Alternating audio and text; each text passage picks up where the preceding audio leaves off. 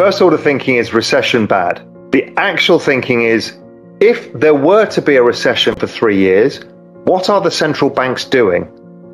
Right, because that's unemployment rising for three years and inflation falling for three years. What would the central banks be doing? They would be trying to stimulate as much as possible because we have not had a four year recession in, well, as long as I think, not even the 30s, I don't think it was that long. So, but let's assume it's the 1930s again.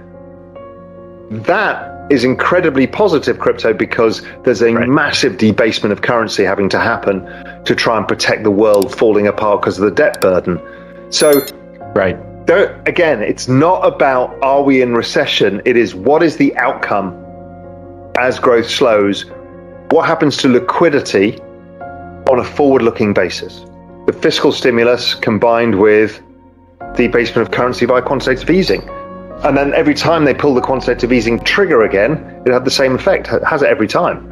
Now they're they're going to be a little gun shy right now because inflation is very high. But again, market's job is to look at probabilistic outcomes in the future, not where we are today.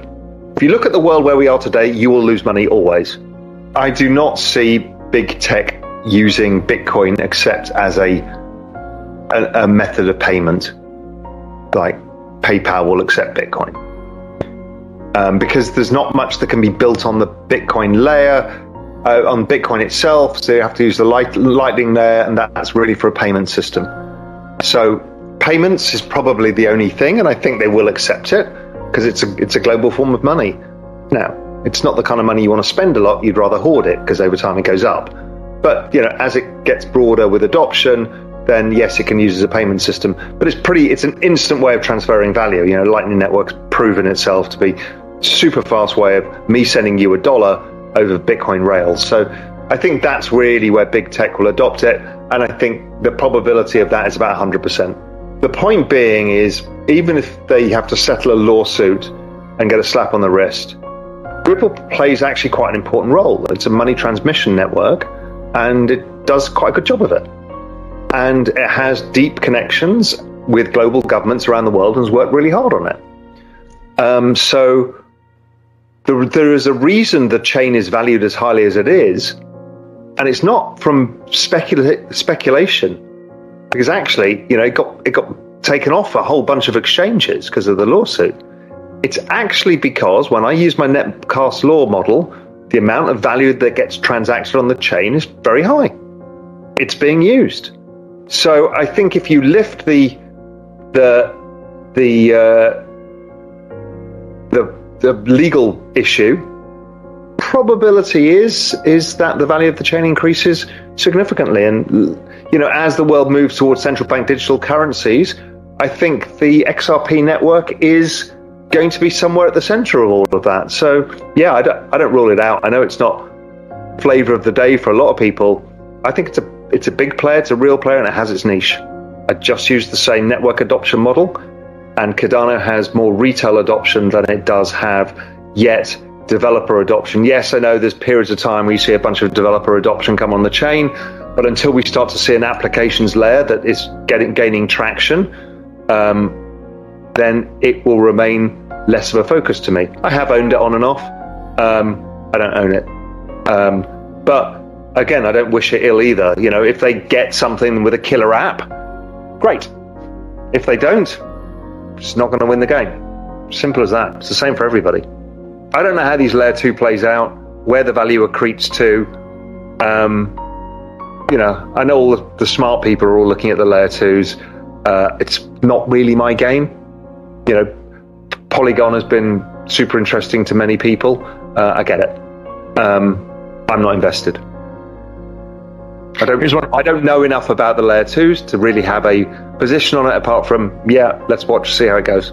But speed is something that people need to solve for. Speed and cost, and layer twos solve speed and cost. So okay, let's see. Let's see. Let's see how the game plays out.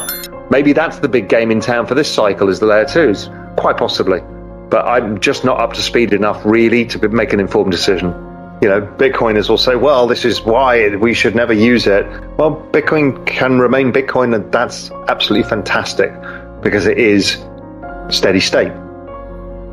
But here's I want my technology to also perform, and I want it to adapt as circumstances adapt.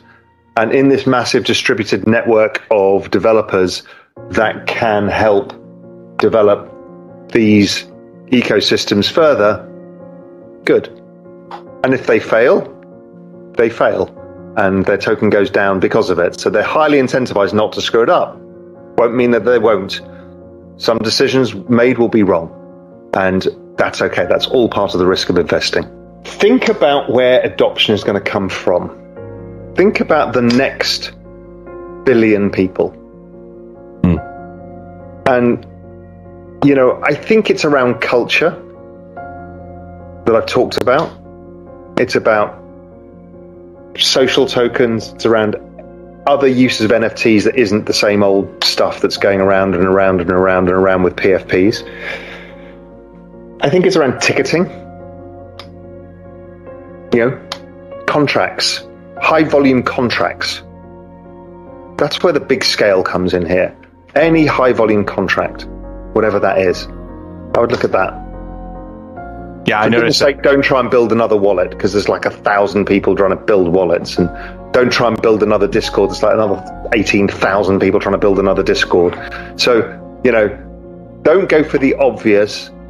Go for a specific thing and say, you know, this would be better on blockchain. Crypto industry, much like we don't think of the internet industry, it'll be so interwoven within the fabric of what we understand the internet to be today, that we will start to be thinking about the metaverse integration of all of this. So it just becomes the layer on top of the internet. We, we won't think of it in those terms. I'm not even sure we're using the terminology NFTs. You know, you know, remember when we first had internet, we'd hear that sound of the dial-up modem. We never expected that not to be true, but it's not you just don't know all this stuff. You know, in the end, it just just becomes integrated and part of stuff. We won't go, oh, that's built on blockchain, much like we don't say that's built in whatever code language. We, we don't know or care. So I don't think we'll care in the end. It'll just be. So that's when it's of massive size. You won't know that securities then settle instantaneously around the world 24 7, 365. You won't go, look, it's a you know, it's a it's a cryptocurrency thing. No, it's just because we're using the technology. So think of it more of a technology that gets applied and unlike other technologies, accrues value for everybody. Literally everything we do in life is a contract. I mean, you and me to appear today together is a verbal contract. Hey Ash, will you be there at this time? Yes, I'll be. Which is Nick and Ryan. But um, but we do but everything is a contract in life. And once you start seeing the world in those terms, you realize that so many of these can be automated. And automated contracts mean higher velocity of money, um, less friction, less intermediary cost, all sorts of stuff in ways that we can't imagine. What about real estate? I even asked this question to John Wu from uh, um, Ava Labs yesterday, today, I can't remember when. Um, and it'll be out in Real Vision next week probably. Um, the answer is yes, it's already happening. Yes, it's really slow because you have an existing legal system. So what you're trying to do is take out lawyers. Well, they don't really want to be taken out. Notaries, banking, all sorts of people need to buy into this. So you could do single one-off transactions amongst a group of investors, but to make this at scale, it takes time. It is absolutely going to happen, but it's not going to happen instantaneously about a year and a half ago, I was probably down to about six, five hours, but I'm trying to be better.